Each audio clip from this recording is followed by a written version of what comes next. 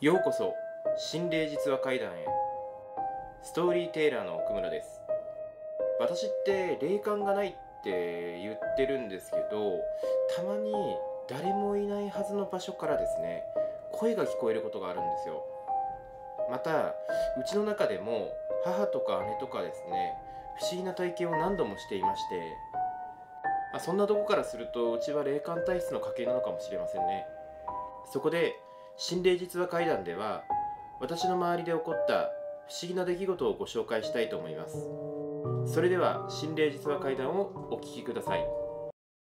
私が小学校の低学年の頃の話なんですけど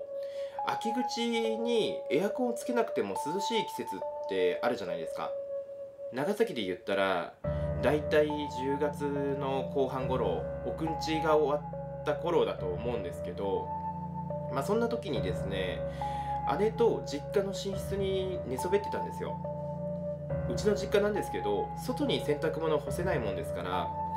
寝室に部屋干し用のロープが5本ぐらい取り付けてあって夜にはだいたい洗濯物って干してある状態なんですよね。で秋口って布団も冷たくて気持ちよくてその季節が一番私好きだったんですけど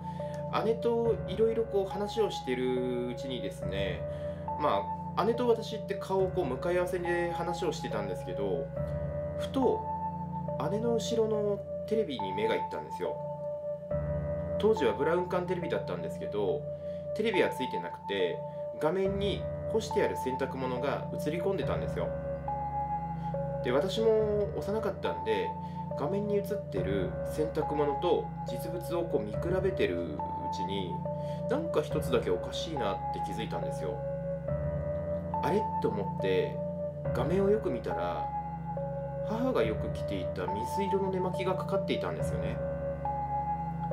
だけどさっき洗濯物のね実際のものを見た時にはそれかかってなかったんでおかしいなって思ってもう一度実物を見たんですよ。すると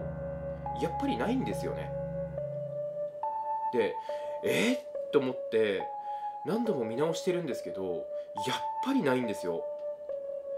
で姉も私が何度もこう振り返ったりするもんですから「何したと?」って言うんですよでもあまりにも怖くて言えないんですよね姉にもなんかもしかしてこれ言ったら何かあるんじゃないかって思ってで私も幼かったんではっきり言えなかったんですけどそして何回も見比べてるうちにテレビに映ってる寝巻き姿のものが近づいてるように見えるんですよね。よく見てみるとかすかに髪の長い女性が佇んでてもうその時恐怖なんですよ。もう怖くて怖くて。で姉に悟られないように布団に顔をうずめながら体が震えてることバレないようにしていてあれ何だったんだろうなって未だに思うんですけどつい数年前に実家に帰った時に母に話したんですよその話を。するとあの水色の寝巻きってオレンジのものもあって